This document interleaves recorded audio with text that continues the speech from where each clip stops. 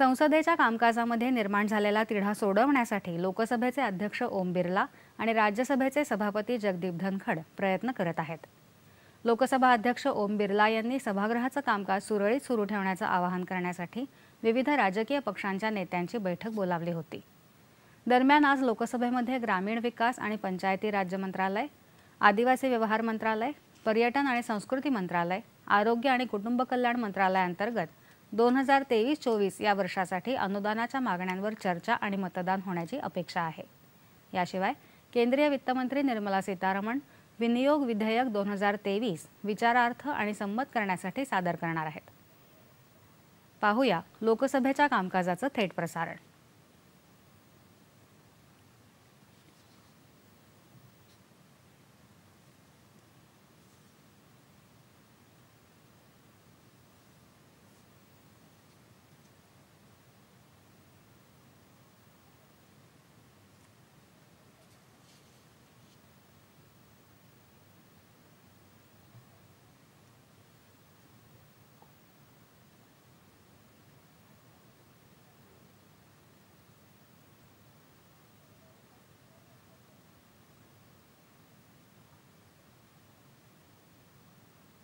पंद्रहवीं लोकसभा के सदस्य थे।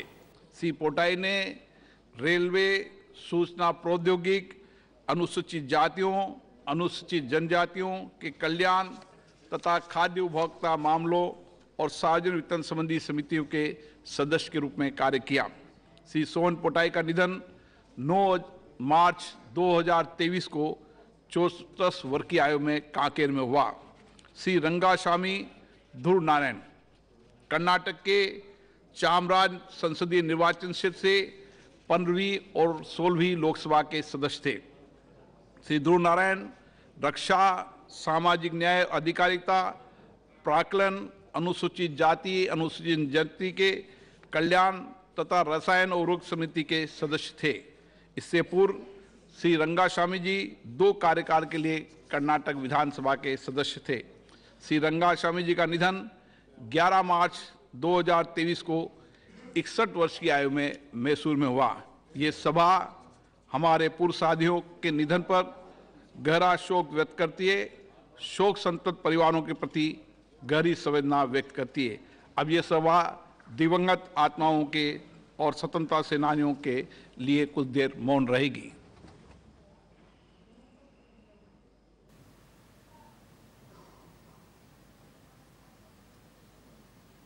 ओम शांति। भारत रत्न देना चाहिए सर। सर एक हमारे गंभीर मुद्दा है सर ये question number three two one Shrimati Queen Ojha. प्रश्नकाल के बाद। मान्य सदस्य आप इतना नाराज़ नहीं हो। आप इतना नाराज़ मत हो। प्रश्नकाल के बाद आपको मैं बोलने की इजाज़त दूँगा।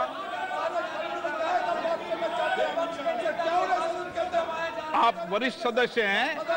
प्रश्नकाल के बाद आपको मैं बोलने की इजाज़त दूँगा। किविन ओझा। मान्य मंत्री जी। A statement is laid on the table of the House. Ganesh Singh ji पूछना चाहते हो?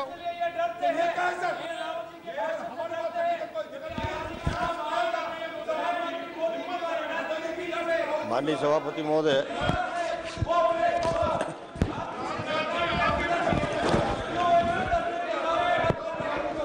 मैंने किसी भी मान्य सदस्य को मैं माननीय बोलने से नहीं रोका।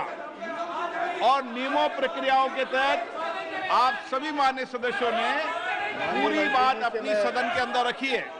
और आज भी मैं आग्रह पूर्वक निवेदन करता हूँ जी से कि मान्य सदस्य उनको बहुत बहुत धन्यवाद दूँगा माननीय प्रधानमंत्री जी को बहुत बहुत धन्यवाद दूँगा।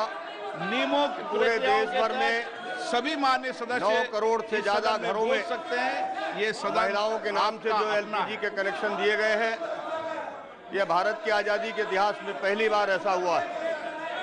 और आज उन घरों में भी झोपड़ियों में भी एलपीजी गैस जी आपने कैसे फैसला कर लिया?